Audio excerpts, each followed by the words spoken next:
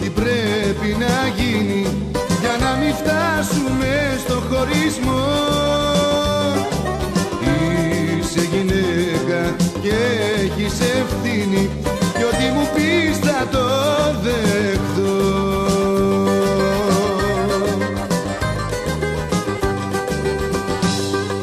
Βρες κάτι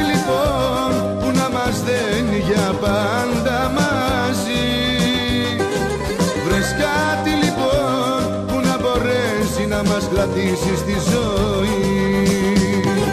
Βρες κάτι λοιπόν που να μας δένει για πάντα μαζί. Βρες κάτι λοιπόν που να μπορέσει να μας κρατήσει στη ζωή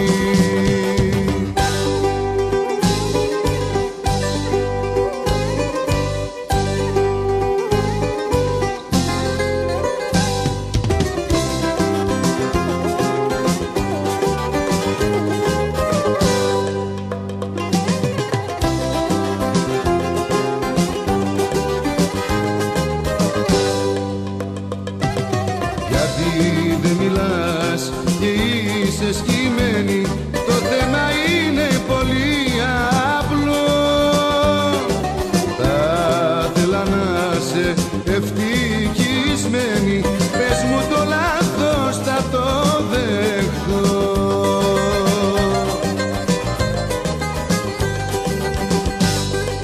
Βρες κάτι λοιπόν που να μας δένει για πάντα